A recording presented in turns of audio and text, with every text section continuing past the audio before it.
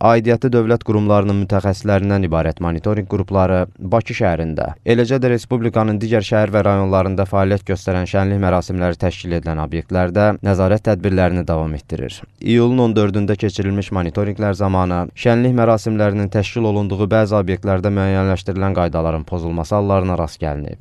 Bu, əsasən tədbirə gələn qonaqların say məhdudiyyətinin pozulması, qonaqların üzərində COVID-19-a qarşı peyvənd edilməsi və ya sağalaraq immunitetə malik olması barədə təsdiqedici sənədin olmaması ilə bağlıdır. Bir sıra hallarda isə şənlik mərasimlərinin icazə EQOVAS portalına müvafiq məlumatların düzgün daxil edilməməsi halları da qeydə alınıb.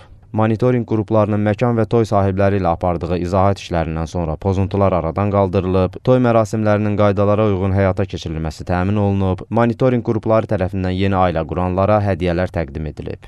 Toy sahiblərinə intisamnamə bağlayırıq. Toyun keçiriləcəyi məkan haqqında, qonaqlar haqqında icazə.gov.az saytına məlumat daxil edirik.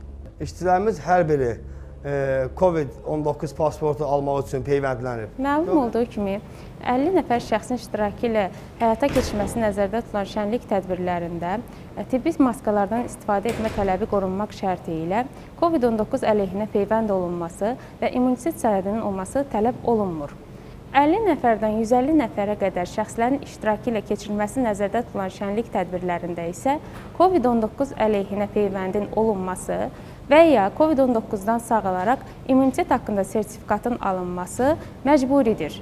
Qeyd olunanlarla əlaqədar monitorinq qrupları tərəfindən şənlik mərasimlərində masalararası məsafənin qorunması, işçi heyətinin tibbi maskalardan, əlcəklərdən və digər qoruyucu vasitələrdən istifadə etməsi, bununla yanaşı iştirakçıların COVID-19 ilə bağlı peyvənd olunması və ya immunitet sertifikatının olub-olmaması barədə yoxlamalar aparılır.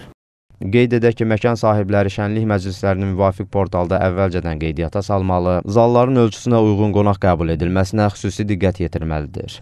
Bu cür tədbirlərin təşkili zamanı anlaşılmazlıqların baş verməməsi üçün qonaqların say məhdudiyyəti faktoru nəzərə alınmalı, məclis iştirakçılarının müvafiq sənədlərə malik olması əvvəlcədən dəqiqləşdirilməlidir.